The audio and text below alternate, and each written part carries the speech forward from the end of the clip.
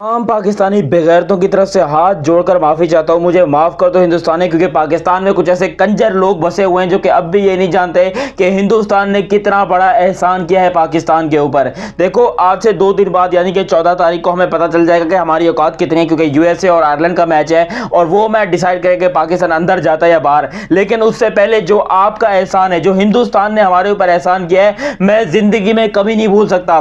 मतलब मैं कुछ भी कर लो, मुझे पता है कि यह हमारे लिए कैसा मोमेंट था, हिंदुस्तान ने क्या किया है? देखो, सब चीज़ों के बारे में डिटेल में बात करता हूँ। पॉइंट टेबल भी खोल के बैठा आपका भाई। आप लोग को बताएगा कि भाई, कौन, कैसे पाकिस्तान जा रहा है और पाकिस्तान के लिए अब बिल्कुल हलवा, हिंदुस्तान ने हलवा तैयार कर दिया पाकिस्तान के लिए, बस पाकिस्तान को खाना है। अभी तक आपने चैनल सब्सक्राइब नहीं किया तो सब्सक्राइब करो और सब्सक्राइब करते ही बेलाइकन भी दबाओ। तो हुआ कुछ यूँ कि भाई साहब, के पाकिस्तान क्रिकेट टीम जो कि वर्ल्ड कप से बिल्कुल बाहर हो चुकी थी और किस वजह से हो चुकी थी? अपनी बेगैरतों की वजह से। अपनी लानती बेगैरतियाँ जो कि पाकिस्तान की चलती रहती हैं। इतने सालों से आज से नहीं, ये टोपी ड्रामे पिछले कई साल से चल रहे हैं, लेकिन लोग जो है इसका क्रेडिट कभी किसको देते हैं, कभी किसको देते हैं? आज पाकिस्तान की पूरी की पूरी ग्यारह खिलाड़ी, पूरी की पूरी टीम कसूरवार है इस बात की पाकिस्तान इतना जलील हुआ है। अमेरिका से हारा था, यूएसए से हारा था, और यूएसए से हारने के बाद पाकिस्तान टीम बस खुदा के आसरे पर चल रही थी कि भाई अब हम ये करेंगे, अब हम वो करेंगे, अब हम ये करेंगे ये करेंगे, अब करेंगे, तब करेंगे, ये करेंगे। काम हो गया।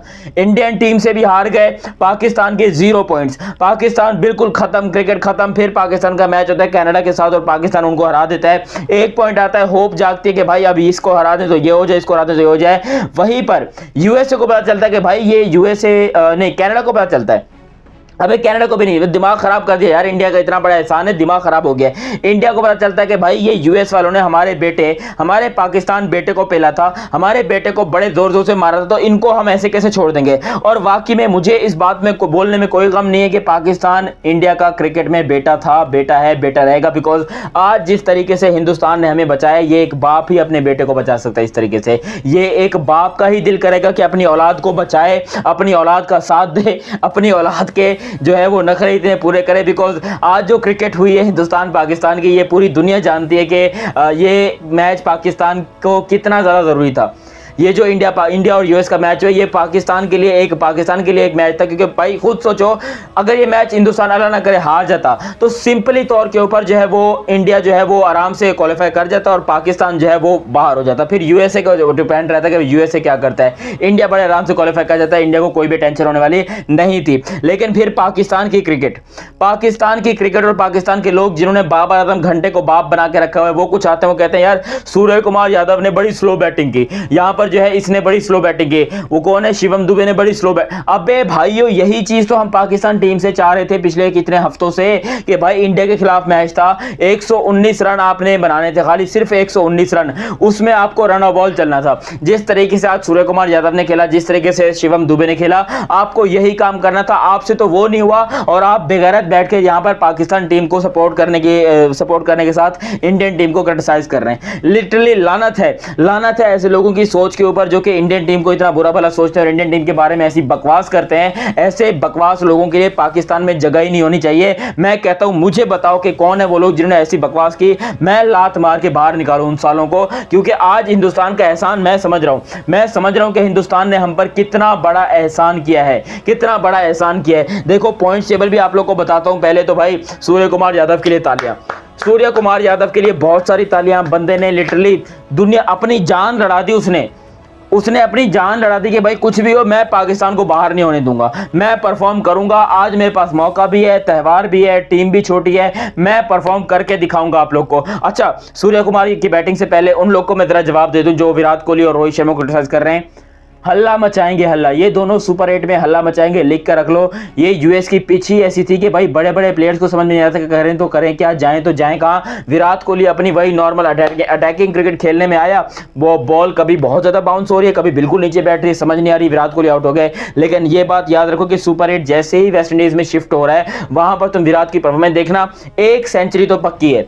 रोहित रात की एक सेंचुरी पक्की है। लिख के रख लो कि रोहित और विराट दोनों सेंचुरी मारेंगे और दोनों आपको बताएँगे कि हम कितने बड़े खिलाड़ी हैं। ये जो नए नवेले आजकल लॉकडाउन किड्स निकले हैं ना लॉकडाउन के बच्चे जो कि अपने आप को बहुत बड़े क्रिकेट जर्नलिस्ट और क्रिकेट एनलिस्ट समझते हैं, बेटा हमने देखा है विराट और रोहित को। हमने दो हज़ार की क्रिकेट देखी है, जब पाकिस्तान के अगेंस्ट 183 ठोका था हमने उस बात की गवाही देखी है। हमने अपनी आँखों से देखा कि विराट क्या चीज़ है रोहित क्या चीज़ है वो क्या कर सकते हैं। ये जो आजकल के नए नवेले बच्चे हैं कि बॉब्जी बॉब्जी बॉब्जी बेटा तुम अपने बॉब्जी को अपने घर पे ले जाओ वहाँ पर शायद वो चल जाए यहाँ क्रिकेट वगैरह में जो है वो विराट और रोहित के आ, मतलब बराबर ही नहीं कहीं से बराबर तुम तुम लोग समझ सकते हो कि मैं क्या कहना चाह रहा हूँ। और फिर यहाँ पर अच्छा सूर्य कुमार यादव की बात करते हैं। सूर्य कुमार यादव ने आज जितनी अच्छी बैटिंग की यार उसने वाकई में मैं क्रेडिट दूँगा पूरा का पूरा सूर्य कुमार यादव को बिकॉज़ लोग उसको बुरा भला भी कह रहे थे लोगों ने उसको जो है वो, ये भी कहा कि स्लो खेला है पाकिस्तानियों ने ही।